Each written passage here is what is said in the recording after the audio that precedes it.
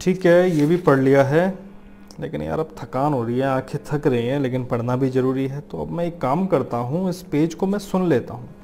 ठीक है तो जस्ट मैं अपने फ़ोन से एक पिक्चर इस पेज की क्लिक कर लेता हूँ और अब मैं इस पेज को पूरा सुन लूँगा। Oh you guys are here तो गाइज़ आपने मेरी बुक की और मेरी कॉन्वर्सेशन तो सुन ही ली होगी। और मैं अपनी बुक से कह रहा था कि यार मैं इसे पढ़ते पढ़ते थक गया हूँ, क्यों ना अब इस बुक को सुन लिया जाए। जी हाँ दोस्तों, ये पॉसिबल है कि अगर आप अपनी बुक को पढ़ते पढ़ते थक गए हैं तो आप इसका कोई पेज पैराग्राफ सुन सकते हैं और सुन के रिकॉल कर सकते हैं, याद कर सकते हैं। काफ़ी ज़्यादा इंपॉर्टेंट चीज़ मैं आपको बताने जा रहा हूँ स्टूडेंट्स के लिए खास तौर से जो पढ़ते पढ़ते थक जाते हैं, जिनकी आँखें थक जाती हैं, लेकिन जो सुन के लगातार अपनी पढ़ाई को कंटिन्यू करना चाहते हैं, या फिर सपोज़ आप मल्टी कर रहे हैं, कुछ और काम कर रहे हैं, लेकिन आप सुनना कुछ और चाहते हैं तो आप ये टास्क परफॉर्म कर सकते हैं। इसके लिए जस्ट आपको आपके फ़ोन की नीड है जस्ट फ़ोन से पिक्चर क्लिक करके पर्टिकुलर पेज की आप उसको सुन सकते हैं। आपका फ़ोन आपको पढ़कर सुनाएगा सब कैसे चलिए बताता हूँ मैं आपको। तो यहाँ पर आपको अपने फ़ोन में जाना है और फ़ोन में जाने पर आपको गूगल प्ले स्टोर में जाना है और एक ऐप यहाँ पे सर्च करनी है जिसका नाम है गूगल लेंस ठीक है?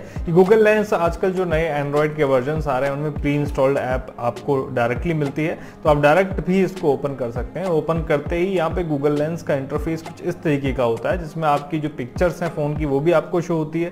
साथ साथ ही साथ आपके पास ऊपर कैमरे का ऑप्शन आता है, जिसमें आप कैमरा को कैमरे पर टैप करके आप अपने फ़ोन का कैमरा एक्सेस करते हैं। अब आप कैमरा एक्सेस करने के बाद आपको यहाँ पे इंस्ट्रक्शन भी देती है गूगल लेंस की ऐप कि हाँ ठीक है आप यहाँ पे आप पिक्चर क्लिक कर सकते हैं। तो यहाँ पर आपको जो पोर्शन अपनी बुक का रीडिंग करवाना है आप चाहते हैं आपका फ़ोन आपको बोलकर सुनाए आप उस पोर्शन को उस पर्टिकुलर एरिया को आप अपने फ़ोन से कैप्चर कर लेंगे। कैप्चर करते ही यहाँ पे आपके फ़ोन में नीचे आपके पास कुछ ऑप्शंस आते हैं, जिसमें ट्रांसलेट टेक्स्ट सर्च यहाँ पे काफ़ी सारे ऑप्शंस होते हैं। तो आपको यहाँ पे टेक्स्ट पे टैप करना है और टेक्स्ट पे टैप करने के बाद आपके फ़ोन ने आपकी बुक का एक जो पिक्चर है वो कैप्चर कर लिया है। कैप्चर करने के बाद यहाँ पर आपके पास ऑप्शंस आ जाएँगे सिलेक्ट ऑल टेक्स्ट वगैरह के। तो यहाँ पर आप जो टेक्स्ट आप रीड करवाना चाहते हैं आप वो सिलेक्ट कर सकते हैं। और यहाँ पर नीचे आपके पास डायरेक्ट ऑप्शन आ जाएगा लिसन का। तो आप जस्ट लिसन पे टैप करेंगे और आपने जो टेक्स्ट सिलेक्ट किया हुआ है आप देखेंगे कि वो उसकी रीडिंग होना स्टार्ट हो गई है। Just as a file must be opened before it is used, a file system must be mounted before it can be available to processes on the system. More specifically, the directory structure may be built out of multiple volumes, which must be mounted to make them available within the file system namespace.